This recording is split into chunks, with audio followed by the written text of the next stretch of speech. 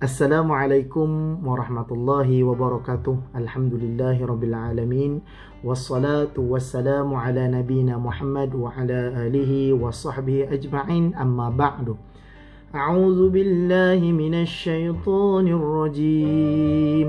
يا أيها الذين آمنوا إن جاءكم فاسق بنبأ فتبينوا أن تصيبوا قوما بجهالة فتصبحوا على ما فعلتم نادمين. واعلموا أن فيكم رسول الله لو يطيعكم في كثير من الأمر لعنتم ولكن الله حبب إليكم الإيمان. وزينه في قلوبكم وكره إليكم الكفر والفسوق والعصيان. أولئك هم الراشدون. فضلا من الله ونعمة والله عليم حكيم. صدق الله العظيم. Sidang penonton yang dirahmati Allah Subhanahu wa taala. Ayat yang dibacakan tadi daripada surah Al-Hujurat ayat 6 hingga ayat 8 yang bermaksud ya ayyuhallazina amanu wahai orang-orang yang beriman. In ja'akum fasiqum binaba'in fatabayyanu. Allah Taala sebut kalau datang kepada kamu orang fasik. Orang fasik ni maksud apa? Siapa-siapa pun yang datang kepada kita, Allah Taala tak sebut uh, apa orang kafir ataupun orang munafik. Tapi Allah Taala sebut orang fasik. Sebab orang fasik? Sebab siapa-siapa pun datang kepada kita bawa berita kita tak tahu dia ni orang beriman ke dia ni orang yang baik ke ataupun yang tidak baik ke. Fatabayyanu in ja'akum fasiqun binaba'in. Dengan satu khabar berita fatabayyanu kena selidik. Antusibu qauman bijahalatin. Apa maksud dia supaya kamu tidak menimpakan sesuatu kaum dengan perkara yang tidak diingini. Ha, kan? Dengan sebab kejahilan kamu tu sebab bila kita terima berita tu dan kita buat satu benda kepada kaum tu nanti kita akan apa Allah Taala sebut sehingga menjadikan kamu menyesali apa yang telah kamu lakukan. Hmm. Ayat kedua pula wa'lamu anna fikum rasulullah dan ketahuilah bahawasanya dalam kalangan kamu ada Rasulullah. Maksud dia apa? Kita ni adanya Rasul sallallahu alaihi wasallam maka janganlah kemahuan atau pendapat kamu mendahului Nabi sallallahu alaihi wasallam. Ini kita kena ingat. Bila ada Nabi, kita ni walaupun akhir zaman Nabi tidak ada bersama dengan kita, kita ada Nabi sallallahu alaihi wasallam sebagai panduan. Kemudian kalaulah ia menurut kehendak kamu dalam banyak perkara, tentulah kamu akan mengalami kesukaran. Sebab kalau semua nak ikut ikut kita ha, jadi masalah. Ni Allah Taala sebut ni, bukan saya sebut, Allah Taala sebut. Akan tetapi Rasulullah sallallahu alaihi wasallam tidak menurut melainkan perkara yang diwahyukan kepadanya dan kamu wahai orang-orang yang beriman hendaklah bersyukur kerana Allah menjadikan iman suatu perkara yang kamu cintai serta diperhiaskannya.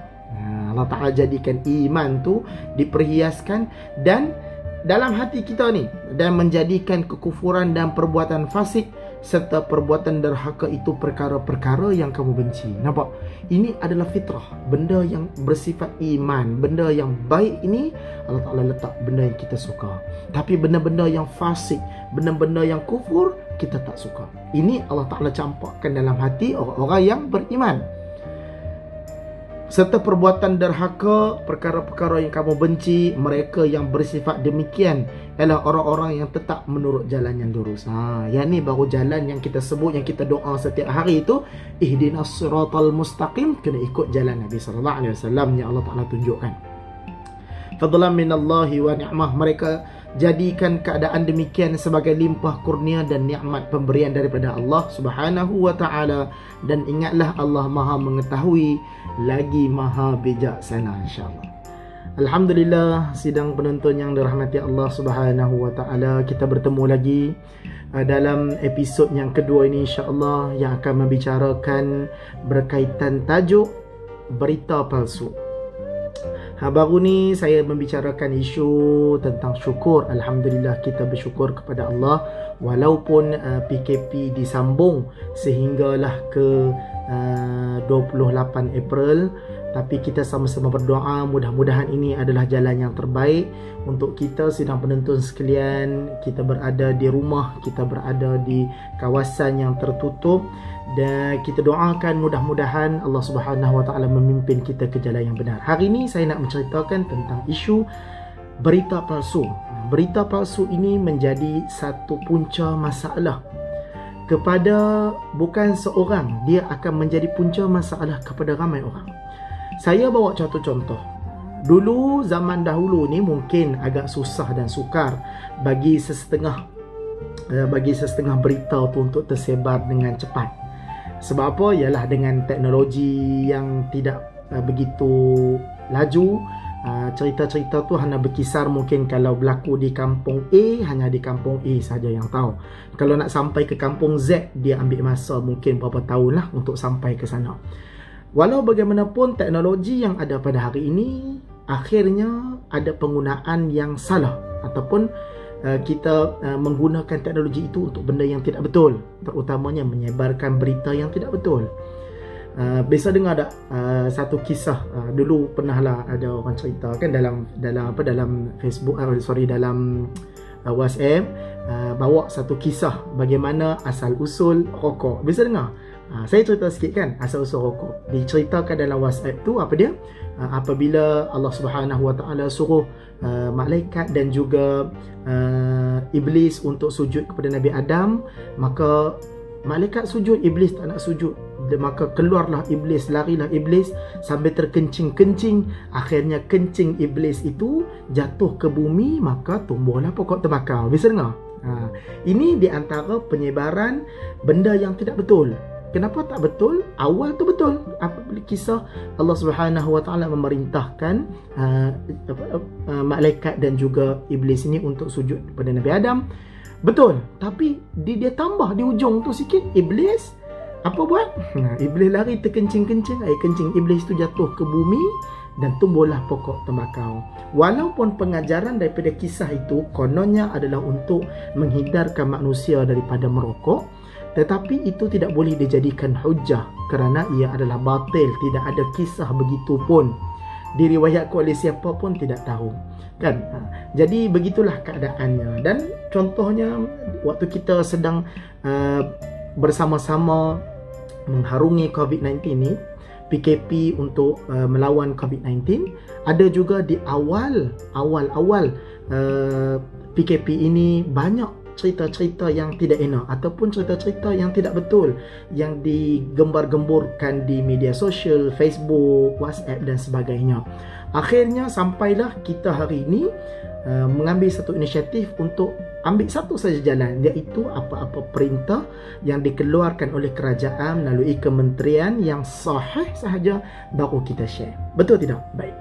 Inilah yang terjadi pada zaman Nabi sallallahu alaihi wasallam. Bagaimana ayat yang saya bacakan tadi dalam surah Hujurat ayat 6 hingga ayat 8. Allah Taala sebut satu kisah bagaimana ayat ini turun asbabun nuzul ayat. Ha, surah ini menceritakan tentang uh, satu hari uh, Allahumma salli ala Muhammad. Al Harith ibnu Abu Dirar Al Khuzai yakni seorang pembesar Bani uh, Mustalik. Pembesar Bani Mustalik ini uh, dijemput oleh Nabi untuk berjumpa dengan Nabi sallallahu alaihi wasallam. Maka dia pun berjumpa dengan Nabi, Nabi pun ajak beliau untuk masuk Islam dan dia pun ajak masuk dia pun masuk Islam mengucap. Dan Nabi kata pada dia kena bayar zakat. Maka dia kata ya Rasulullah aku akan bayar zakat dan aku akan balik untuk mengajak kaum aku masuk Islam. Dan kami juga aku akan kumpulkan zakat-zakat daripada mereka ini dan minta Rasulullah hantar utusan untuk kutip zakat Maka masa pun berlalu Rasulullah SAW pun hantar seorang pemuda untuk uh, bertemu dengan uh, Al-Harith ini untuk mengambil zakat yang telah dikumpulkan. Namun apa yang berlaku, kisah ini diriwayatkan banyak susu galur, banyak jalan, banyak banyak riwayat. Saya ambil satu riwayat yang sahih daripada Ahmad, riwayat Ahmad yang menceritakan bagaimana apa ni uh, Al-Khalid uh, Al-Walid sorry Al-Walid ibnu uh, Al-Walid ibnu Uqbah ini uh, pergi kepada Al-Harith ni untuk nak mengambil zakat tersebut. Walau walau bagaimanapun waktu nak sampai itu tiba-tiba dia orang ni nak sambut, nak sambut Al-Walid. Tapi Al-Walid nampak macam dia nak kena bunuh, maka dia pun balik. Balik bertemu Nabi sallallahu alaihi wasallam, dia pun cerita pada Nabi yang mereka ni nak bunuh dia. Maka Nabi wasallam hantar Khalid Al-Walid untuk pergi tengok. Depa ni je depa ni pasti patut bayar zakat kan? Maka waktu Khalid Al-Walid pergi dia buat intipan tengok solat macam biasa, maka Khalid Al-Walid balik beritahu Nabi sallallahu alaihi wasallam kata mereka ini masih beriman kepada Allah dan Rasulnya.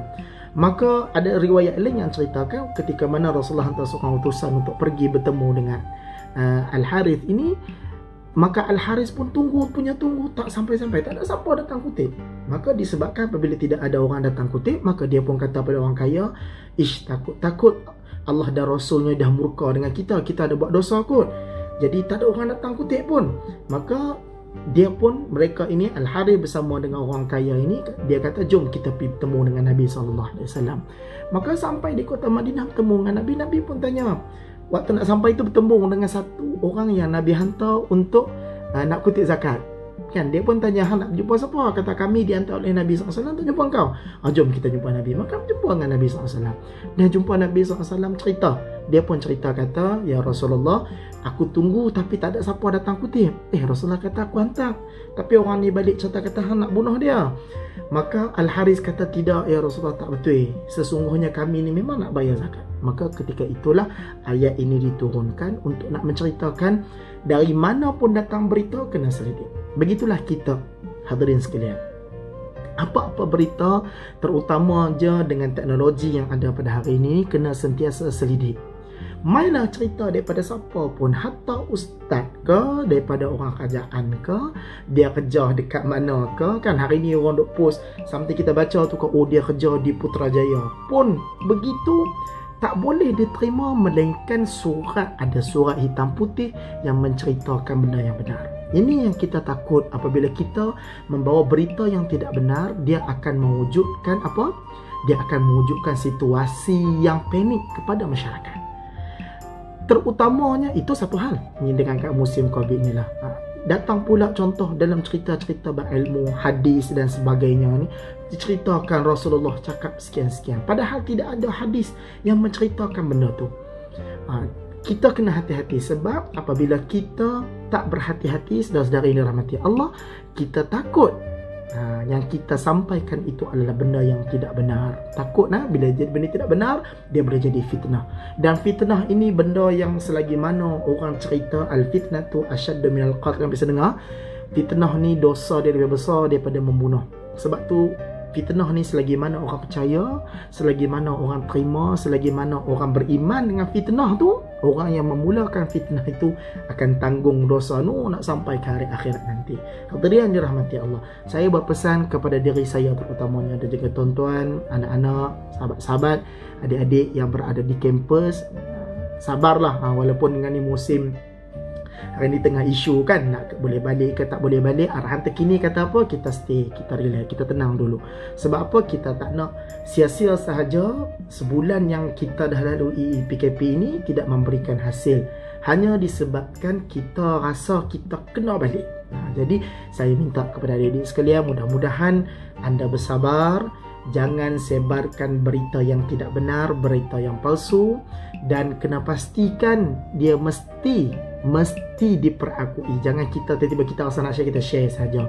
Kononnya ia adalah daripada otoriti, daripada contohnya daripada Ustaz Abid. Ha, Ustaz Abid cakap betul, mungkin tidak benar, mungkin betul ataupun tidak. Saya bukan orang yang berautoriti untuk menyampaikan apa-apa uh, maklumat dapatkan daripada orang yang benar-benar berautoriti.